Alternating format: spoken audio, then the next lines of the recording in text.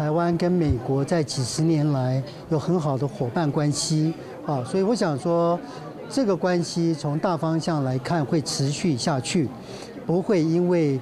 这个选举的变更而有任何的改变。台积电资深副总洪永清以半导体协会理事长身份出席公开场合，罕见开金口谈起台美半导体十多年来的伙伴关系，不会因为总统换人而产生任何改变。啊，都没有办法忽视啊，像台湾的这个资讯电子产业界跟半导体业界啊，在全世界的啊高科技领域里面，目前已经。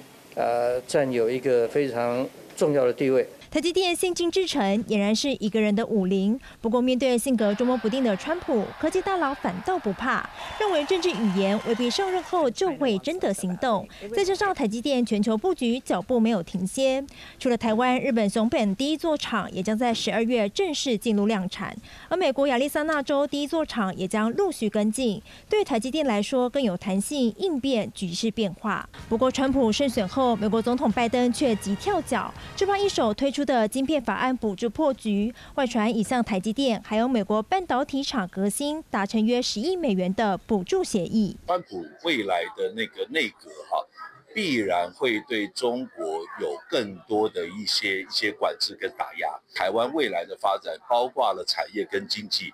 我相信会跟美国有更多的一些深入的合作。不过，不确定因素仍像不定时炸弹一样存在。向来趋于保守的外资，自然也深感警戒。外资对于台积电的未来没有把握，那么其实对于台积电在短期上来讲呢，是卖超的天数大于这个买超的天数。虽然外资悲喜参半，但台积电七号股价表现仍重逆风前行，小涨五元，收在一千零六十五块钱。台积电技术领先，成了抗穿的最佳护城河。三立新闻张体强、张浩义、刘富慈台北新竹采访报道。